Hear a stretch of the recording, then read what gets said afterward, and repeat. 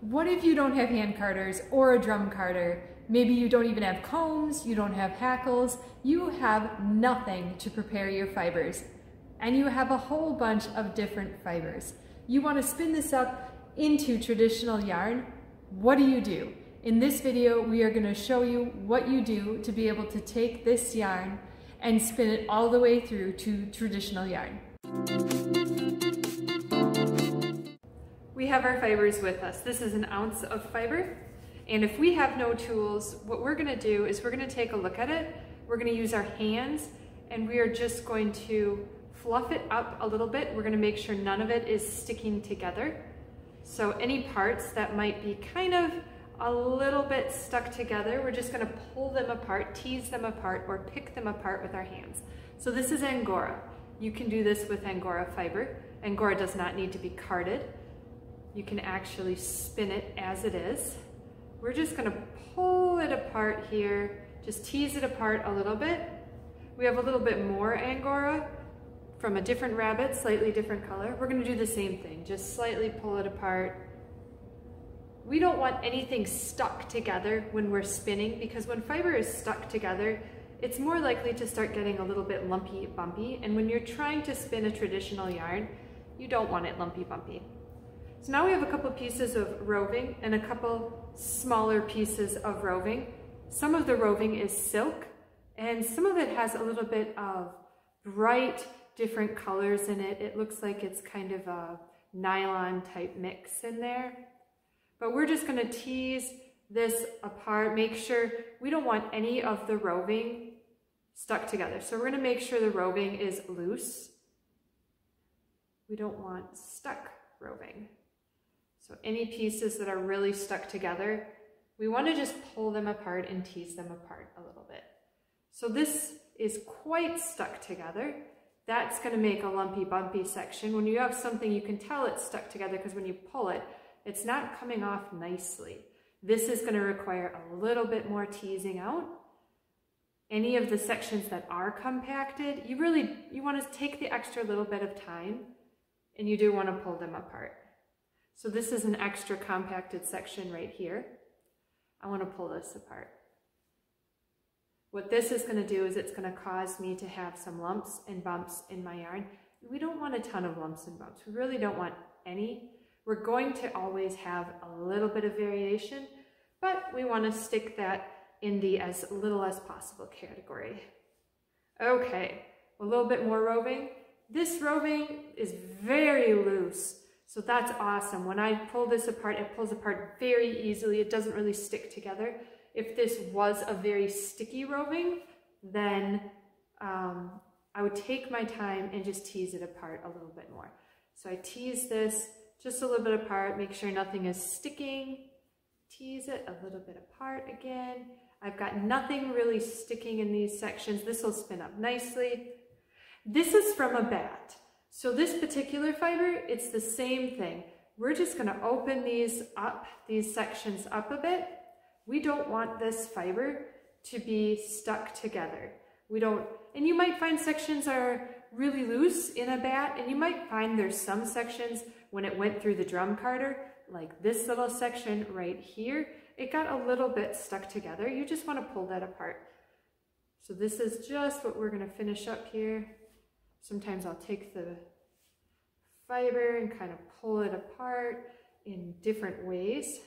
So I can have movements where I'm horizontally pulling the fibers apart, such as this motion where I'm horizontally taking them. That's a section where it's kind of stuck together. But then again, I can have a piece of this and I may vertically pull this apart. So we're just using this and just kind of fluffing it up, pulling it apart. And we're done. So this is the fiber. Let's give you a look. This is what we ended up with, just piles of fluff that's been lightly pulled apart. And what we're gonna do is because we don't have anything to blend these together, we don't have any hand carders, we don't have a drum carder, we're just gonna keep these in the piles. And as we're spinning, we're just gonna pick a little bit from each pile. So spin some of this, then we'll spin some of that, then we'll spin some of this, then we'll spin some of that. and that'll just gently blend the fibers throughout the yarn. They're not going to be blended together in the same way as if you'd use other tools, but because we're just going to keep going like this and pulling and pulling and pulling from the fibers, we are going to set up a rhythm in the yarn that's going to have a little bit of consistency to it. So we're going to be focusing on this section of the video. We don't have a long leader line going on here. That makes it a little bit difficult to get started. I can choose the fiber I want to start with. I'm going to start with a bit of this fiber. I'm going to join it on. You might have to adjust your tension, that's okay. Kind of get your wheel where you want it to be. Maybe a little bit too much. But we just start spinning. So after you've used your hands to tease this apart, you simply start spinning the fiber.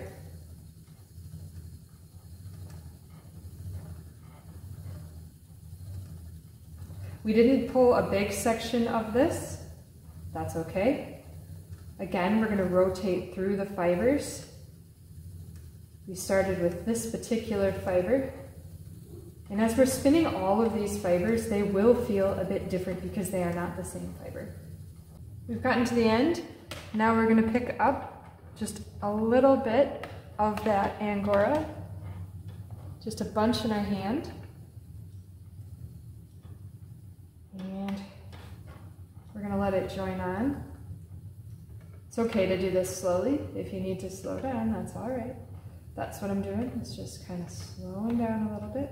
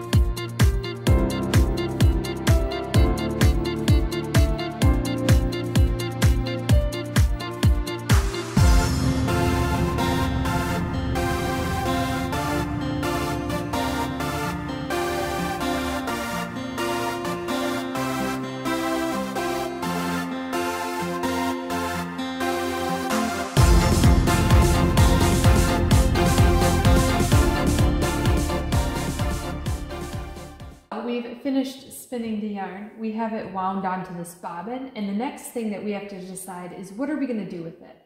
So you have a couple different options. Of course, you can always leave it as a single. You can turn it into a center pull ball and you can ply it back on itself to turn it into a two ply.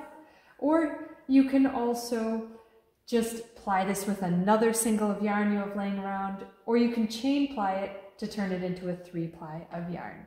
So when we're looking at this particular, particular yarn right here, I think what we're gonna do is we are going to take this and we are going to turn it into a two ply of yarn. So that means we need our ball winder.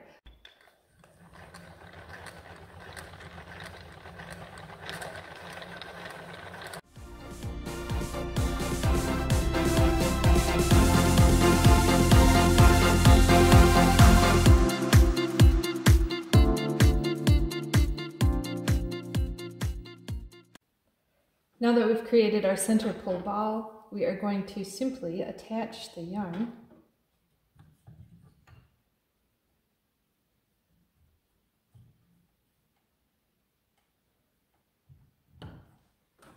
and we are going to ply the yarn always in the opposite direction of what you've spun it.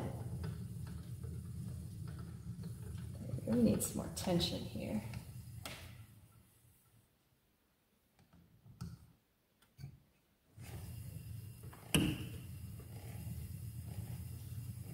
So we're going to ply this up, creating a two ply of yarn.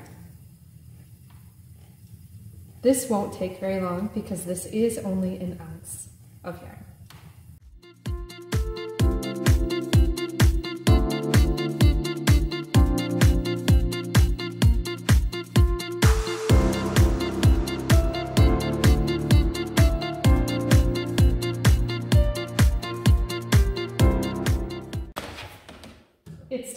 Use the niddy noddy. We finished plying the yarn. This is a two yard niddy noddy, but you don't have to use this niddy noddy. After we finish this, what we're gonna do is we are going to wash the yarn and set the twist. We're gonna let it dry, and then we have to figure out what we're gonna do with this yarn. And I do have an idea about what we're gonna do.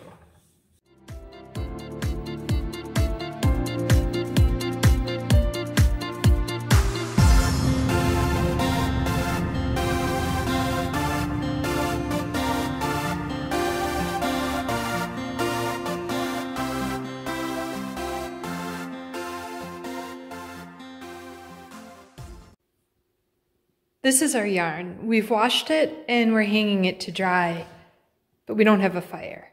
I'm going to show you a trick for a yarn like the one that we've created that you can dry it quickly. So here's the yarn, and here's just an inexpensive hair dryer. This one was less than $25. High and low, all the way to high.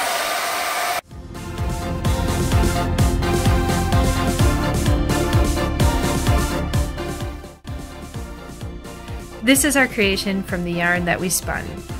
We used all of this yarn and we created this snake. This pattern is available at Rabbitry and Yarns. We can leave the pattern down below.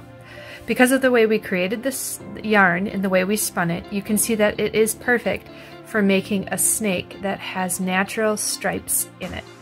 And so this is, I hope you enjoyed this video. This is what we did with our yarn and I can't wait to hear what you did with yours.